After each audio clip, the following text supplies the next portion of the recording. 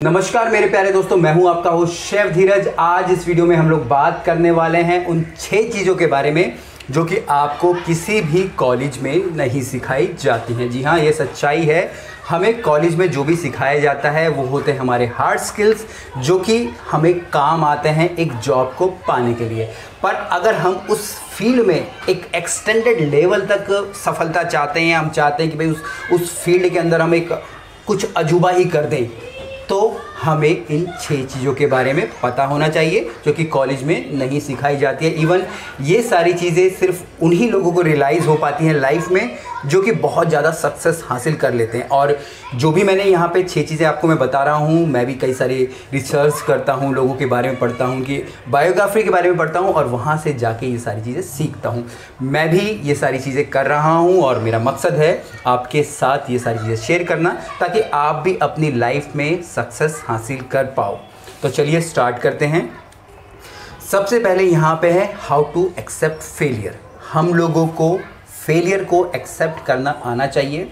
छोटी सी कोई विफलता मिल जाती है, दो महीने तक नौकरी नहीं मिली, या कि कोई एच के जो एग्ज़ाम्स होते हैं, उससे पहले कॉम्पिटिटिव एग्ज़ाम्स होते हैं, उसको क्लियर नहीं कर पाया, कोई ट्रायल में फ़ेल हो गया।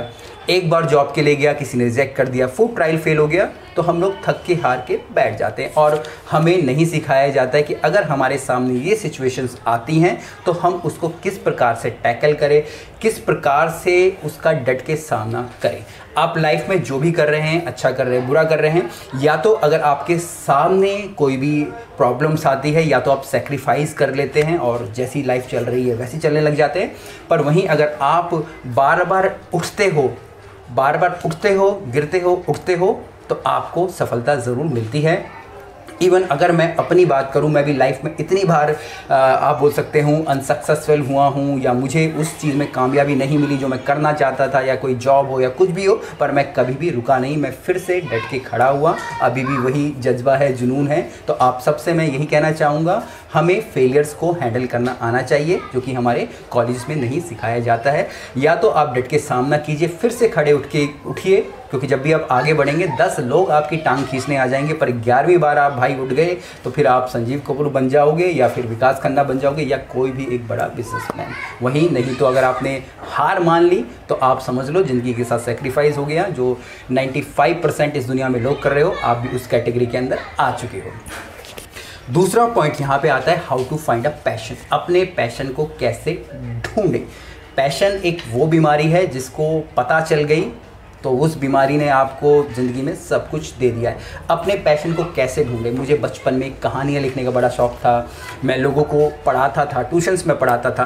पर अब जाके समझ आया कि एक्चुअल में मेरा वो पैशन था और जो मैं अब यहाँ पे वही आप लोगों को डिलीवर कर रहा हूँ।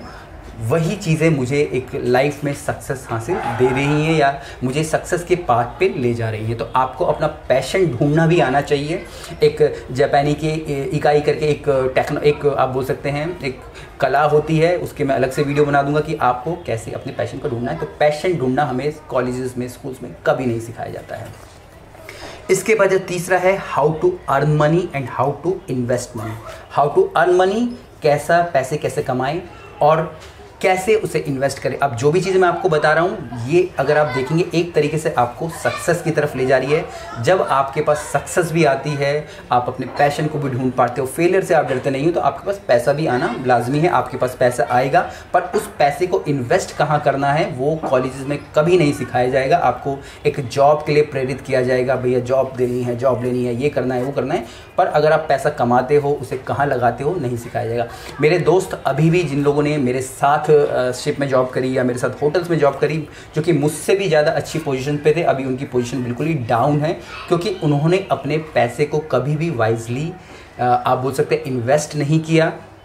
क्योंकि अगर आप पैसे इन्वेस्ट नहीं कर लें तो आप कितना भी कमा लीजिए, आपके लिए कभी भी पूरा नहीं होगा। जिस तरीके से महँगाई बढ़ती है इन्फ्लेशन बढ़ती है तो हमको अपने पैसों को कहाँ लगाना चाहिए, वो भी आना चाहिए। जैसे कि मैं अपने पैसे अपने एफ़ में स्टॉक मार्केट्स में रियल स्टेट में करता हूँ तो हम सब चीज़ों, हम सबको ये पता होना चाहिए। पर स्कूल और कॉलेज में कोई नहीं सिखाता हमें, जो कि बहुत ही ज़्यादा ज़रूरी है।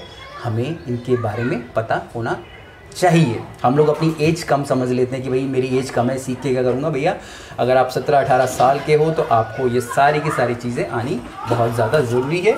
आनी क्या? आपको धीरे धीरे करके सीखनी है। जैसे जैसे एक्सपीरियंस आपका बढ़ता जाएगा, आपको चीज़ें अपने आप ही समझ आने लग जाएँगे। इसके बाद जो नेक्स्ट पॉइंट है, वो होता है हाउ टू सेल आप कैसे बेचें?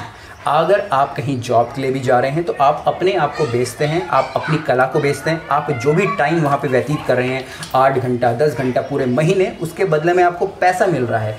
पर कई लोग, कई लोगों के क्वेश्चंस रहते हैं कि भाई मैं दस साल से कहीं नौकरी कर रहा हूँ, मेरी तो तनख्वाह इतनी ही है। वो तनख्वाह इतनी ही है क्योंकि आपको अपने आप को सेल करना नहीं आया। जिस दिन आपको अपने आप को सेल करना आ जाएगा, आपकी सैलरीज भी बढ़ जाएँगी, आप सक्सेस भी लाइफ में हासिल कर पाओगे। दूसरा, अगर हम लोग यहाँ पर बिज़नेस करते हैं, हम लोग स्टार्ट तो कर देते हैं। अभी अगर आप मुझे ही देखेंगे, मैंने इस मॉडल को, मैंने अपने इस यूट्यूब के मॉडल को धीरे धीरे करके कैसे बिज़नेस में पूरा डेवलप कर लिया है। मैं अपने कोर्सेज सेल करता हूँ। इवन अभी जैसे मेरी वेबसाइट भी है। कुछ समय बाद देखेंगे कि आप मेरी खुद की ऐप भी आ गई है। वहाँ पे मैं अपने कॉम्पिटिटिव एग्ज़ाम्स की भी तैयारी करवाऊँगा। तो ये सारे के सारे आपको पता होना चाहिए। जब आपको समझ आ रही है चीज़ें, तभी आप कर पा रहे हो, अपने आप को सेल कर पा रहे हो। सिर्फ़ वीडियोज़ बनाने से या फिर मुझे कुछ अच्छा लगता है, वो करने से काम नहीं चलता है। आपको ये सारी की सारी प्रॉपरली चीज़ें आनी चाहिए। कैसे चीज़ों को बेचना है, वो भी आपको आना चाहिए। और जैसे कि कई सारे लोग मुझे इस तरीके से भी मैसेज डालते हैं, आप अपनी किताबें सेल करते हो उसका आपको क्या है आप तो यूट्यूब पे इतना पैसा कमाते हो तो भैया जो भी हम लोग काम कर रहे हैं, उसमें हमने हिम्मत करी है। करोना तो बाद में हुआ है, मैं करोना से पहले से ही सब कुछ छोड़ छाड़ के लगभग डेढ़ साल से मैं वीडियोस बना रहा हूँ और मैं कंप्लीटली कॉन्सेंट्रेट करके यहाँ पे बैठा हूँ, क्योंकि जब भी आप कुछ स्टार्ट करते हो तो आपको आपकी जो बाकी अर्निंग्स हो जाती है, वो हो जाती है बंद और आप जो कर रहे हो, आपको वहीं से सर्वाइव करना पड़ता है और आप कोई भी प्लेटफॉर्म ले लीजिए, किसी भी चीज़ को चलाने के लिए आपको पैसों की ज़रूरत है, बिना पैसों के कुछ नहीं चलता है। और यहाँ पे तो मैं इतना भर भर के कंटेंट आप लोगों को यूट्यूब में देता हूँ, लोग अगर सोच ले कि अगर मैं वैसा देना चाहूँ तो कभी भी कोई नहीं दे पाएगा। तो ये मेरा मानना है, आपको अपनी चीज़ों को बेचना आना चाहिए। इसके बाद जो नेक्स्ट पॉइंट है, या आप सेकंड लास्ट पॉइंट बोल सकते हैं, वो है हाउ टू थिंक हमें कैसे सोचना है? दो प्रकार की थिंकिंग होती है नेगेटिव होती है पॉजिटिव होती है. तो मोस्ट ऑफ़ द टाइम हम लोग नेगेटिव ही रहते हैं और हर चीज़ों में सिर्फ़ दुख, तकलीफ़ और यही ढूँढने की कोशिश करते हैं. मुझे भी रोज़ लगता है कि भाई मेरी वीडियोज़ नहीं चलती है. कहाँ मुझे ज़्यादा लोग देखते हैं? आप लोग मुझे देख ही रहे हो. पर क्या मैं डिमोटिवेटेड हो जाता हूँ? क्या मैं सोच लेता हूँ कि कुछ और करने लग जाऊँ? जी नहीं. मैंने सोच लिया है, मुझे यही करना है। यही मुझे एक तरीके से बल देता है, एक पॉजिटिव थिंकिंग देता है। और मेरे स्कूल कॉलेज में ये कभी मुझे सिखाया नहीं गया कि किस तरीके से आपको अपने आप को पॉजिटिव रखना है और आपको बढ़ के चढ़ के आगे काम करना है और लाइफ में सक्सेस हासिल करनी है। और जो सबसे लास्ट पॉइंट है, वो सबसे ज़्यादा इंपॉर्टेंट है कि रिलेशनशिप रिलेशनशिप से मतलब है आपके भाई, बहन माता पिता और दोस्त। अब जब हम लोग स्टार्टिंग करते हैं, हमारे साथ हमारे माँ बाप भाई बहन होते हैं और ये बात आप मान लीजिएगा, सिर्फ़ इस दुनिया में आपके माँ, माता, पिता, वो आपके सबसे बेस्ट हैं, वो आपका कभी बुरा नहीं चाहेंगे। एक्सेप्शनल केसेस हो जाते हैं जहाँ पे कुछ चीज़ें हो जाती हैं। उसके बाद आपके भाई बहन हैं। बाकी इस दुनिया में कोई भी अगर आपसे जुड़ने आ रहा है, चाहे आपके दोस्त हो, कुछ भी हो तो उनका कुछ ना कुछ स्वार्थ होगा ही। बिना स्वार्थ के कोई आपसे नहीं जुड़ेगा। हमें भी ये चीज़ें काफ़ी समय बाद समझ आई। मैं भी कई लोगों से धोखा खा चुका हूँ। वीडियो में देख रहे होंगे तो पता चलेगा उन लोगों को। तो इट्स कॉमन और ये सारी चीज़ें रिलेशनशिप्स क्या होती हैं, कैसे होता है, हमें नहीं सिखाया जाता है। हमें लगता है, ये मेरा दोस्त है, ये मेरे, ये मेरा फ्रेंड है, मेरे साथ ज़िंदगी भर रहेगा, हम मिल के कोई बिज़नेस करेंगे, साथ में नौकरी करेंगे। तो भैया, कोई आपका नहीं है, आपके माता पिता को छोड़ के, उसके बाद आपके भाई बहन आ जाते हैं। बाकी इस दुनिया में जो भी आपसे जुड़ा है, हो सकता है कि वो आपसे रियली में आपको पसंद करता हो, आपसे जुड़ा हो, पर कहीं ना कहीं किसी ना किसी मोड पे आके सेम वो भी इस दुनिया में खो जाएगा। और आपको रिलेशन का असली मतलब पता चलेगा और तब जाके आपको बड़ा दुख होगा कि मुझे किसी ने धोखा दे दिया है, चाहे आपके भाई बहन हो या फिर आपके फ्रेंड्स हो। तो इन छः चीज़ों को आपको जानना बहुत ही ज़्यादा ज़रूरी है। अगर आप एक अच्छे इंसान, एक सक्सेसफुल इंसान बनना चाहते हैं, और साथ साथ मैं ये भी बोलूँगा कि इन चीज़ों को अप्लाई ज़रूर कीजिएगा। आपकी लाइफ में जो भी मैंने आपको चीज़ें चीज़ें छः चीज़ें बताई और आप देखेंगे कि आप बहुत कुछ लाइफ में अचीव कर पाएँगे तो ये सारी चीज़ें आपको कभी भी किसी कॉलेज में, किसी होटल मैनेजमेंट इंस्टीट्यूट में कभी नहीं सिखाई जाएँगी।